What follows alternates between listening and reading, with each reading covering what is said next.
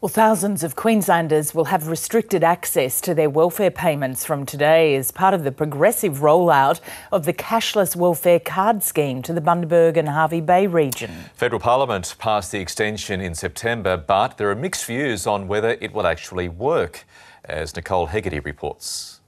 Bundaberg resident Christian Mackay is one of 6,700 people under 35 that will be part of the mandatory cashless debit card trial. The part time delivery driver says it will take a while to get used to, but help save money. I didn't think I was going to be able to buy things that not that I only need, but that I want. But once I've done my research, I found there's actually very few things you can't buy with it. From today, 80% of Christian's income support will be put onto a debit card which can't be used to pay for alcohol, gambling, or to withdraw cash.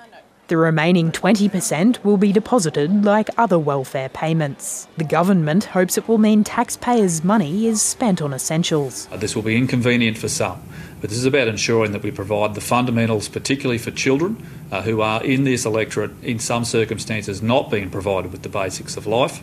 But welfare support groups warn it won't help resolve underlying health and social issues. There is no evidence to suggest um, that mandatory income management will address social, uh, complex social problems such as gambling, drug, and alcohol addiction. A local support service has a different view. If it helps some families uh, better cater for the, the, the, needs of their children and stuff like that, that has to be a positive. The card is already being trialled in Western Australia and South Australia with mixed results, but Hinkler is the only urban trial site and a first for Queensland. Opposition leader Bill Shorten says the scheme would be rolled back under a Labor government. But we will uh, work with the community to roll it back and come up with better solutions. But for Christian, the rollout remains a positive. I'm going to have that little bit of extra money to buy the necessities.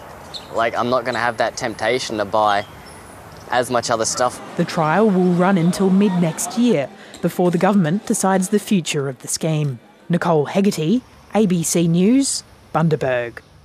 Okay, let's take you to the UK now, where supermarkets and other food retailers are warning that leaving the EU without a